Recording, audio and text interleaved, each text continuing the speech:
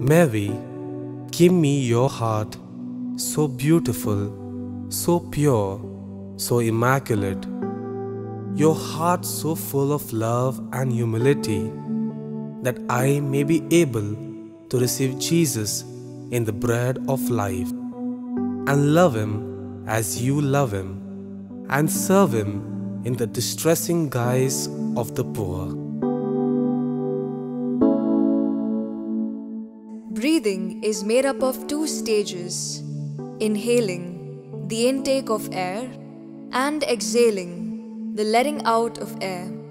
The spiritual life is fed and nourished by prayer and is expressed outwardly through mission, inhaling and exhaling. When we inhale by prayer, we receive the fresh air of the Holy Spirit